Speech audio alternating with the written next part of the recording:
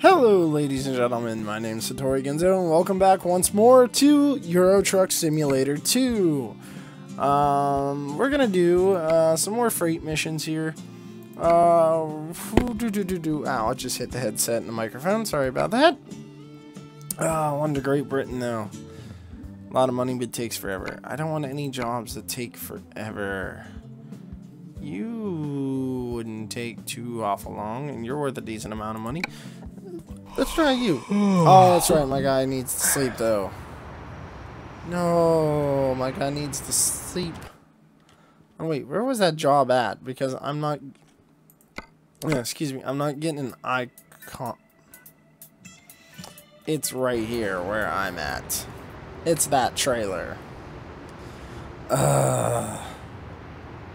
Alright, well, what we're going to do is fire the truck up, take the parking gear off. We're going to go sleep and then hope this uh, contract is still available by the time we get back. Because my guy needs some rest.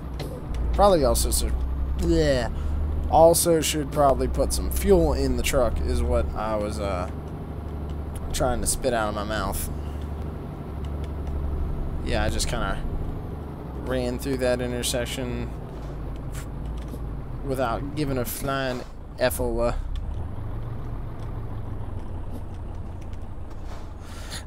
Hey, what's up, dude? Nice truck. What kind of truck do you have? Is it a man? What is it? No, it's a Mercedes. It's nice. It's a nice Mercedes.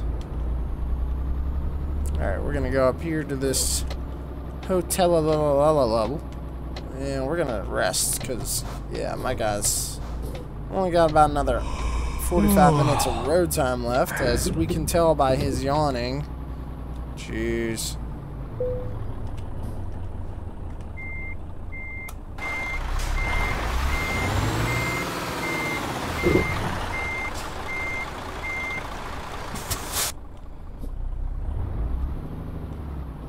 Alright, I'm gonna just this up.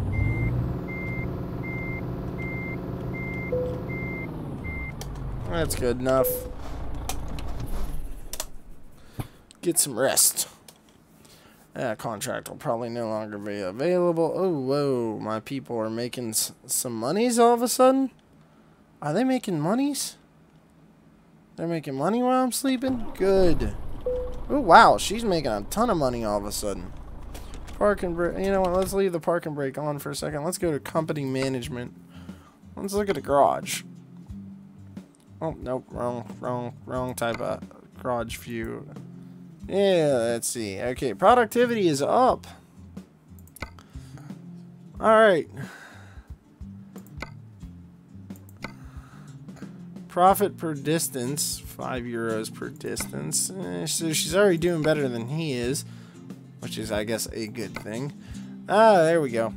Okay, uh... Is that the cost of the next upgrade, or is that what we're making? That's what we're making, isn't it? 150,000. Yeah, oh, truck maintenance. Oh, that's not good. Truck maintenance is coming into play. Driver's pay is coming to play. Ugh. Ugh, guys. Average daily profit is now in play. Alright, that's what I want to see. I want to see that. I want to see that number go up.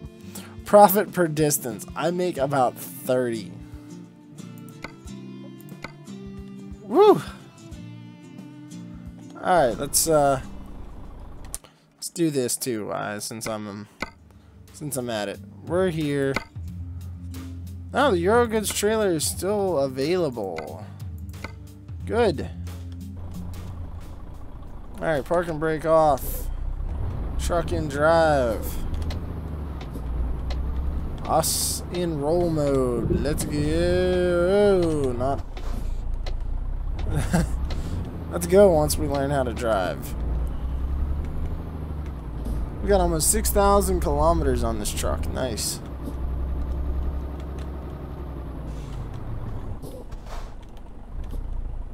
Inch my way up to the line. Come to a stop.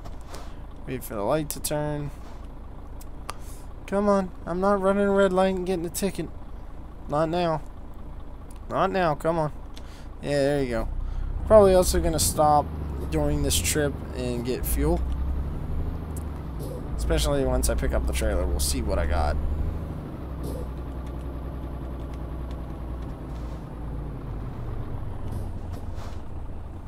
Alright. We're clear this way. We're clear this way. Yeah, we're clear. Nice. Alright. We're going to pull into Eurogoods here and pick up our trailer.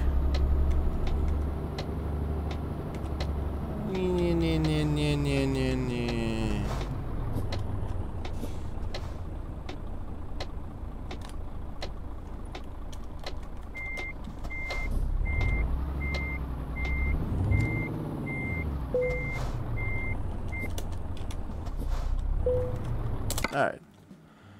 This is... Ooh, that trailer's... Yeah, but that trailer's not worth as much. Ooh, because this one's also a rush job. Oh, nice.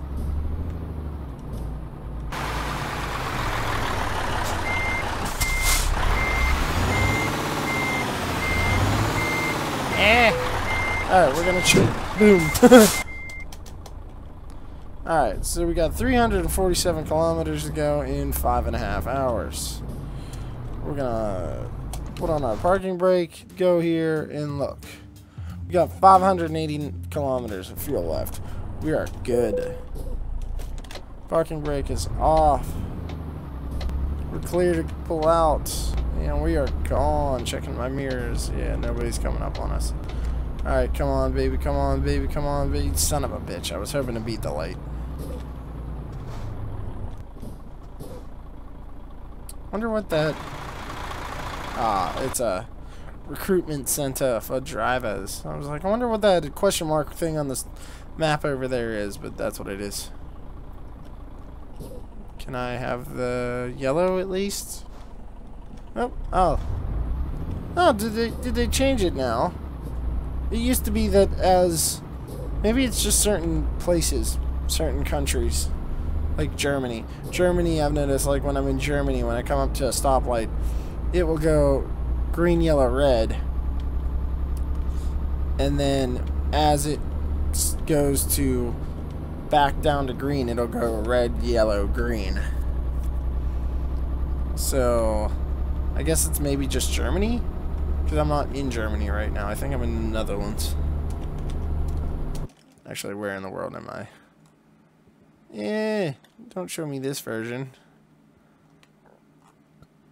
I'm over near Amsterdam, but that doesn't answer my question.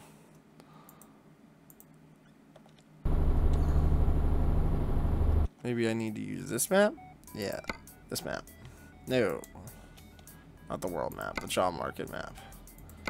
Yeah, maybe it's the job market map. Yeah, I'm in the Netherlands. I was right. I don't know why I thought I was wrong, but had to double check.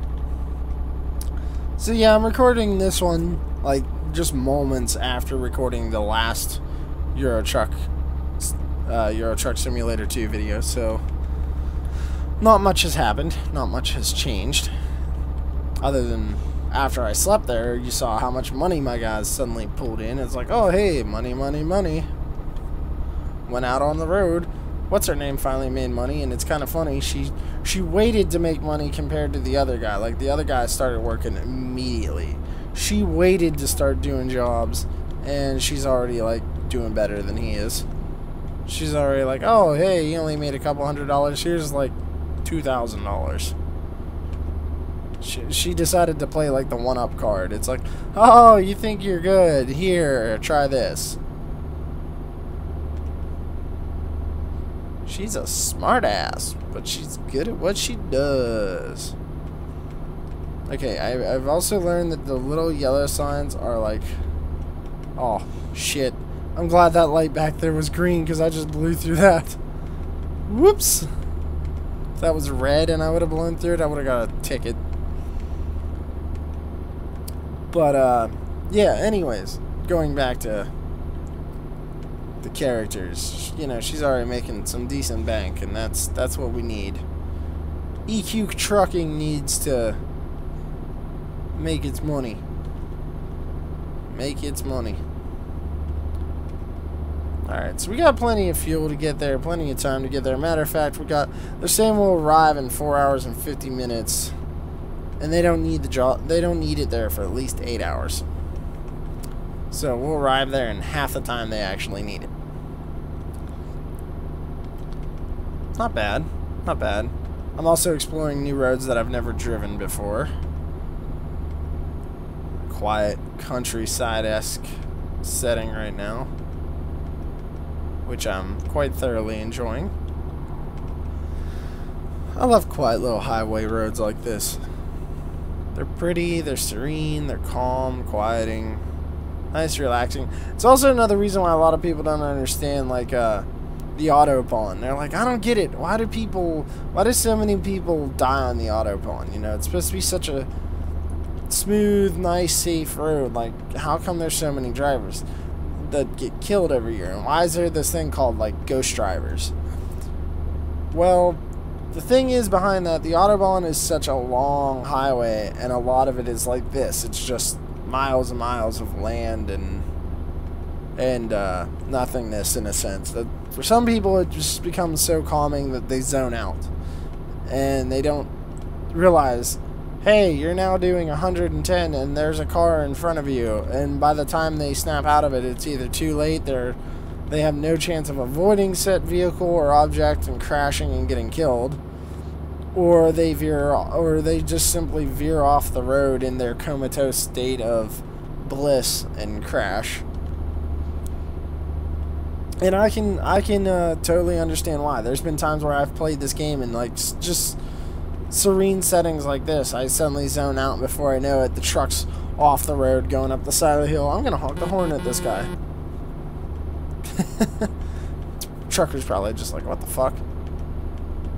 I remember, kids, honking your horn is a sign of friendship or being an asshole.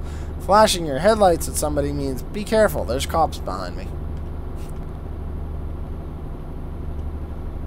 Which I actually kind of ha have to laugh. Uh, there was a... There's been debates back and forth for a while now about the whole flashing your headlights at oncoming traffic thing.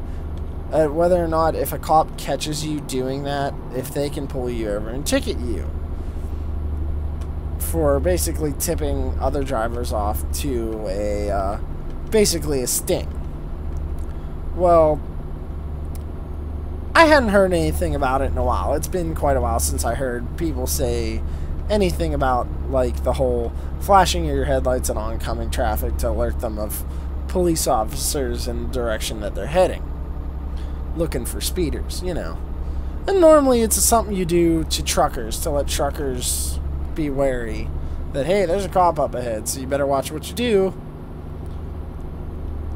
Well, um, I don't know why, but recently I heard, I actually heard it on the uh, local news. They were talking about it again, and uh, I think a judge here in Pennsylvania said that a driver cannot be fined for flashing their headlights to warn other drivers of police up ahead because to fine someone for such an action would basically be a violation of their freedom of speech in a way.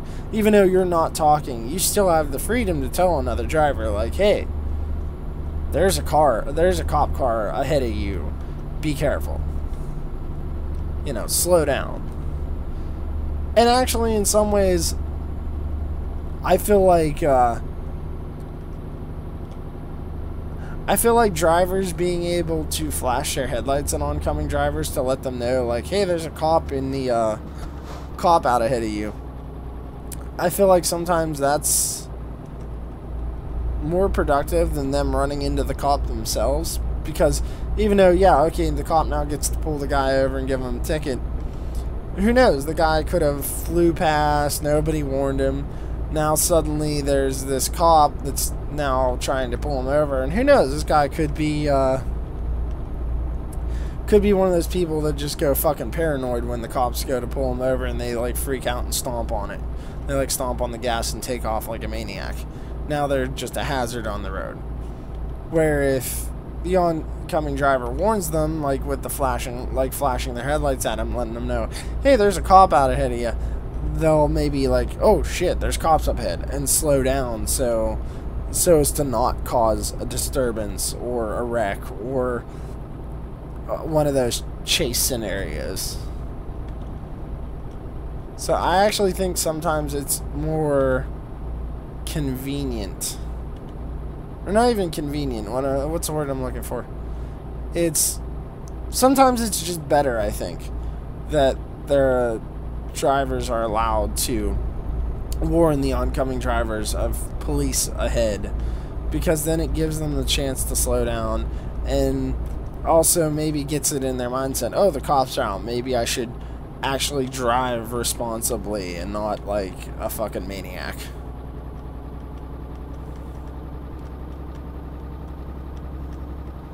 And that's what uh, we're always making comments to. Like me and my dad are always watching uh, videos. We've watched videos of like the nice and polite and kind drivers that you see over in Europe. Like you, there's uh, videos from like Russia where people are sitting at a train crossing waiting to get across, waiting to turn at a light or something. And snow's covering their back tail lights, and you can't really see their turn signals. So the driver behind them's nice enough to actually get out of his car, go up to their car, and brush the snow away from the turn signal lights and stuff. So people can see, hey, he's turning, or hey, he's stopping. You know, they, they actually go out there and be polite and help the person. And then you see these people that drive. We watch these videos where people will drive like maniacs over in Europe. And it's like, what the hell? Does nobody know what a speed limit is? And to be honest, like, I think part of it is, it's not so much they don't know what a speed limit is. It's that, like, like I was saying about the Autobahn and that, and like I was saying about this, sometimes it's so calming and relaxing that you're bound to just fall asleep at the wheel.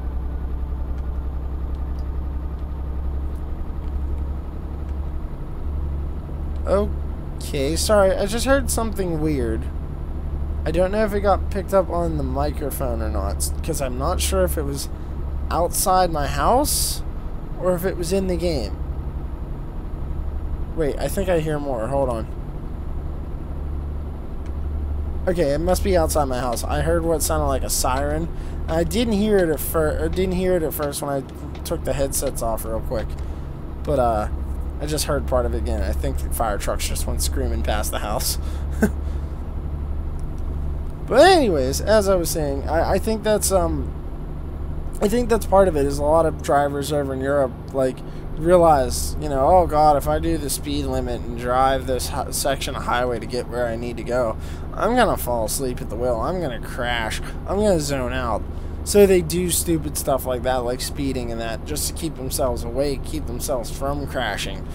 But then you have the opposing human element being other drivers. You have uh, ice and rain and wind and all sorts of other factors that come into play that at the time you're not thinking about until it's too late. It's like, oh, it's snowy, but who cares? I can take it and then your car hits one bad patch of ice and suddenly you're sliding sideways across the highway at 95 mile an hour. Now suddenly your brain's thinking, oh shit, what the fuck did I just do? Ugh, excuse me. I'm burping a lot right now. It's really weird too. I got like the taste of coffee in my mouth when I burp. And I haven't had any coffee today. What the fuck? Ugh. Yuck, that's disgusting. I mean, not that coffee's disgusting. I love coffee, but it's disgusting to have the taste of coffee in your mouth when you know you haven't had any coffee today. Yuck. Yuck, yuck, yuck. But yeah, I mean, I can actually see why some of these people drive like maniacs on these major highways over in Europe. It's it's boring. Like sometimes it can be so boring that you like zone zone out, and then other times it can be so peaceful you just zone out. So you gotta gotta. excuse me. Sometimes you just kinda gotta break up the monotony and uh, do something stupid to keep yourself awake. keep yourself zoned in. I actually remember talking to a kid uh, from Europe. Uh, he was a member. He's a member of the Fur fandom. We were talking about, I think Germany actually, because I'm pretty sure he was from Germany. But we were talking about Germany, and uh, I said about like the Autobahn, and um, I said about uh, Nurburgring, Nurburgring being one of my favorite race courses and I, would love to go to Germany. I'd love to go to the Nurburgring, and even if I could get a chance, take a ring taxi around the Nurburgring, or even a rental car, or even better yet, take my BMW over and you know go around the Nurburgring. That would be cool. That'd be cool to take mine and my mates M3 around the Nurburgring. That'd be so much fun. Be expensive as fuck to get it over there, though. Oh my god. I could just imagine. I mean, it may not be as, as expensive as I think, but I could just imagine it being expensive. Putting it on a plane or a boat. Ah, oh, bus, you dick, you would block my vision on the light. And of course, the turn signal mirror would block my vision on the light. Don't do it. Don't do it. Yeah, you turn that way. I'm gonna turn this way. Oh, you're running out of fuel. You should find a gas station. Dude, hold on. I have 30, 377 kilometers of fuel remaining, and I only got 52 kilometers left to go. Chill the hell out. Chill the hell out, early warning system. You're going off way too soon. You don't know me. You don't know the way I drive. Damn early warning systems.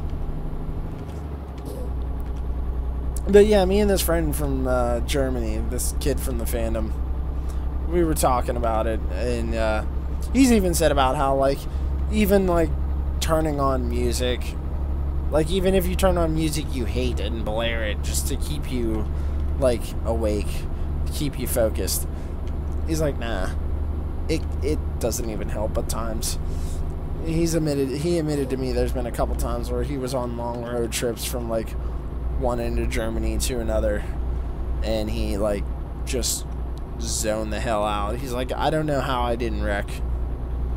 He's like, there's because there has been a couple times where like he went by himself, and that that was the other thing too that we were uh, we talked about. I said, yeah, I noticed. I noticed it's normally like somebody who's driving by themselves who gets in the accident, and he was like he's like yeah but there's also been like a lot of people that have uh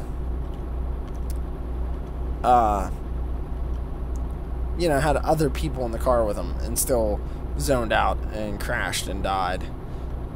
And you know got everybody else in the car either hurt or killed. And we were discussing that and it's like well how often was it that the other people in the car were asleep and at the time of the accident, and that's why like the driver couldn't stay focused was because the company in the vehicle were asleep and couldn't entertain him to keep him awake. Where oh dude you dick you dick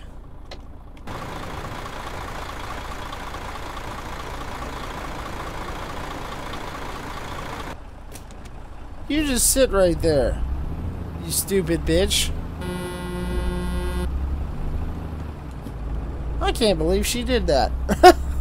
just right in front of me. She had waited all that time. Was it because I was going too damn slow? What the fuck, bitch? Oh my god. Anyways, though, as I was saying, dear God, stupid AI. As I was saying, uh, you know, I was. We said how many times though was it that just the uh, company in the car were asleep at the time of the accident, and that's why the driver himself zoned out, fell or fell asleep, and got in the accident, killing himself and or everybody. And uh, it was actually kind of surprising to see how many more accidents there were with other people in the car versus just one person in the car. Because there was actually a higher number than even I expected. I did not expect... Like, say for, like... Every four that... Every four accidents that was, like, a driver by himself, there would be at least, like, six accidents that were with a full car. And it's like, really? So, like, even with other people there to, you know, entertain the driver and keep the driver awake and focused, even with that, the uh, driver still, you know, like, zoned out or fell asleep and got in an accident. Oh, we're going to this Posped building. I've been here once before on another profile. Oh god. Oh god. Come on, come on, come on. Go, go, go, go before this idiot plows into the side of my truck. Oh, they actually stopped. Maybe they got the red light. But yeah, it, it was actually surprising to hear about how many, uh, how many other accidents involved multiple people in the car versus just the driver. I don't know why I'm using turn signals when I'm on the closed uh, closed parking lot of a facility.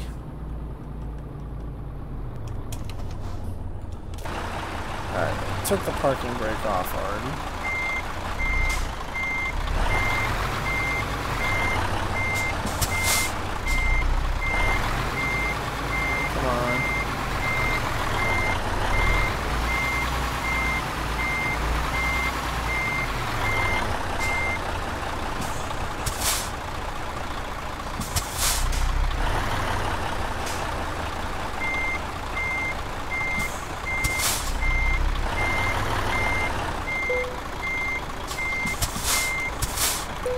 Alright.